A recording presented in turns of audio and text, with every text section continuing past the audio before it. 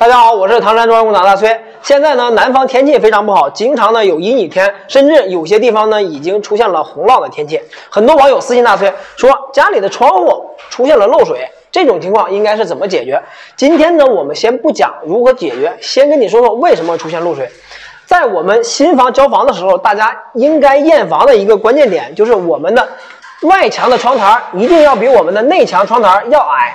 不要让它有这个水往外往内倒灌的一个可能，并且呢，外墙的窗台要有向外的一个坡度，这样呢才不会存水。这是一个非常关键的一个问题，尤其是在我们有一些业主打算重新换这些窗户的时候，很多工人会忽略这个问题，因为换窗户会拆掉我们内墙的一个窗台，这样呢，内墙的窗台可能就会低了。在我们量尺寸的时候，它没有将。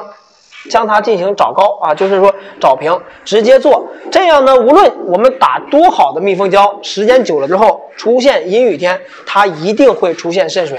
这一点您一定要注意。很多换窗户的时候都会忽略。